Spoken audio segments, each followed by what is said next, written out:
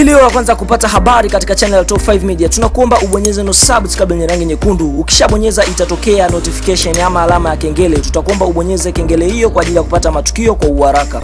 Moja kati ya mchezo ambao unasubiriwa na wadau wengi wa soka nchini katika nchi ya Tanzania na nchi ya Sudani ni mchezo ambao utaikutanisha miamba ya soka nchini Tanzania, Simba Sports Club dhidi ya kikosi cha Al Merrikh. Kikosi hiko ambacho tutaona mchezo huo utapigwa Khartoum nchini Sudani. Fahamu siku ya leo tumeweza kushuhudia Simba Sports Club wameweza kutangaza kikosi cha wachezaji 25 ambapo kikosi hicho kitaondoka nchini Tanzania kuelekea Khartoum Sudani kwa ajili ya kujiandaa na mchezo wa tatu wa klabu bingwa barani Afrika. Fahamu Simba tumeona wameweza kucheza michezo miwili wakicheza na Al Ahly na wameweza kuibuka na ushindi wa goli moja kwa sifuri wakiwa nyumbani. Kisha kikosi hiko kiliweza kucheza mchezo wa kwanza ugenini dhidi ya timu ya AS Vita na Simba Sports Club walifanikiwa kuibuka na ushindi wa goli moja kwa sifuri na sasa kikosi hiko kinafuata Al Merrikh nchini Sudani, kisha kikitoka Sudani kitarejea nchini Tanzania kwa ajili ya kujiandaa na mchezo mwingine dhidi ya Al Merrikh. Kisha wakimaliza hapo watajiandaa na mchezo nyingine nyumbani dhidi ya AC Vita, na baada ya hapo watamaliza mzunguko wa kundi A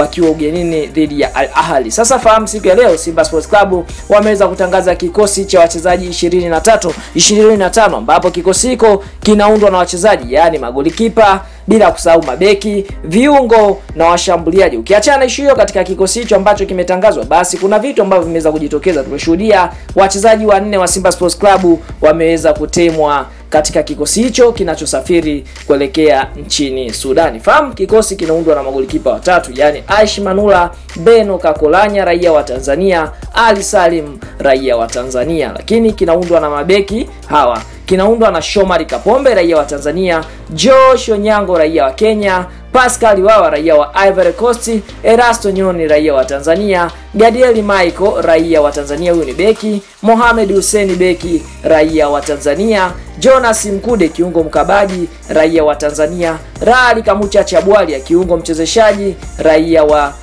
wa Zambia, Mzamiru Yasini raia wa Tanzania, huyo ni kiungo mkabaji. Ukiachana hiyo, basi kikosi kinaendelea kuundwa na Luis Jose Miquissone kiungo mshambuliaji raia wa Msumbiji, Hassan Dilunga kiungo mshambuliaji raia wa Tanzania, Ibrahim Wajibu Migombe kiungo mchezeshaji raia wa Tanzania, Cleatus Chota Chama kiungo mchezeshaji raia wa Zambia, na tunaona kinaendelea kuundwa na Francis Kachikata kiungo mchezeshaji raia wa Kenya. Kinaundwa na mastreka Medi Kagere raia tunaona kinaundwa Medi Kagere raia wa Rwanda. Tunaona kinaundwa na mchezaji mwingine John Boko mshambuliaji team captain raia wa Tanzania, Miraji Asmani Sheva Madenge raia wa Tanzania, Chris Kope Mushimba Mugau raia wa Kongo, Peter Mudua raia wa Zimbabwe, Tadeo Luanga mkata umeme raia wa Uganda,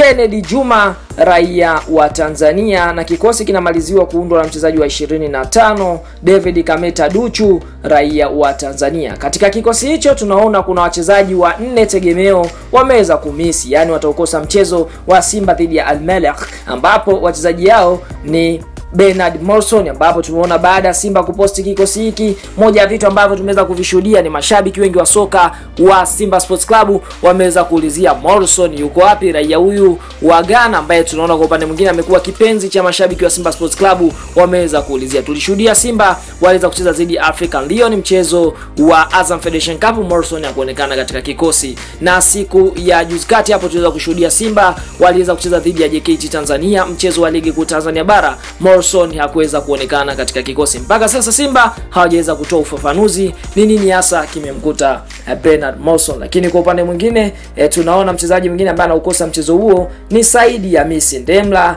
Ibrahimu uh, iba, na mchezaji Ibrahimu Ame beki huyu. Kiachana hiyo, mshambuliaji Junior Lokosa aliyosajiliwa katika mashindano haya basi ataukosa mchezo wa Simba dhidi ya Al, Al, Al ya nchini Sudani. Tuambie kwa upande wako kutoka na kikosi hiko unaongelea vipi na inatokea Simba ushindi wa goli ngapi wanavyoelekea Khartoum Sudani. Asante kwa kuwa nasi, bye bye.